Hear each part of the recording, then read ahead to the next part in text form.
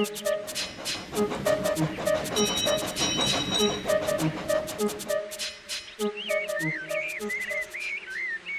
we are, all finished. Thanks, Thomas. You're welcome, Scoop, but why do you want all this old junk? It may look like old junk to you, but all of this can be recycled. Recycled? It means that something can be reused again. Like these old cans or that pile of newspapers. Like Bob always says, reduce, reuse, recycle. Scoop, that's nonsense. Rubbish is rubbish and nothing more. The opposite of useful, even. Once it's thrown, it doesn't come back. Technically, you're right about that. Naturally. But just sometimes you never know how useful it can really be. And he's missing my point again. Eh, come on, Thomas, we better take these trucks back to the yard. Righto then. See you later, Scoop.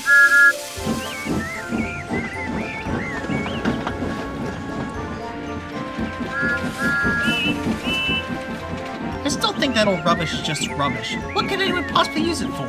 Uh, many things, Thomas. For example, I once used old newspapers to make a paper mache volcano. Mercy, you're sounding just like Scoop right now.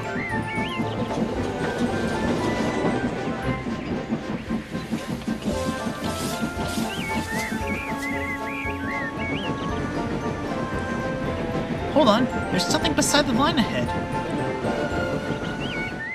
What is that? An old shed? Maybe some more junk lying about? It looks like an old brake van to me.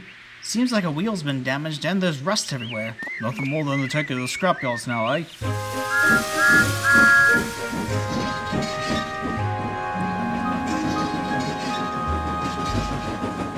Now, what's all this then?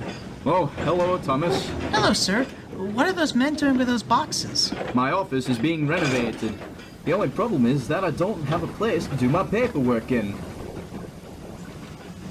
Perhaps, sir, this old brake van I have here can be used as a temporary office until yours is finished. Splendid idea, Thomas. What made you think of it? Oh, not me, sir. Just a friend who has a scoop full of ideas.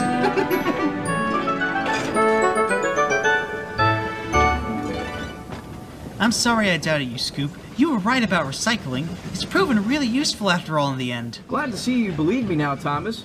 You never know when something old or broken can be used again. Too right, Scoop.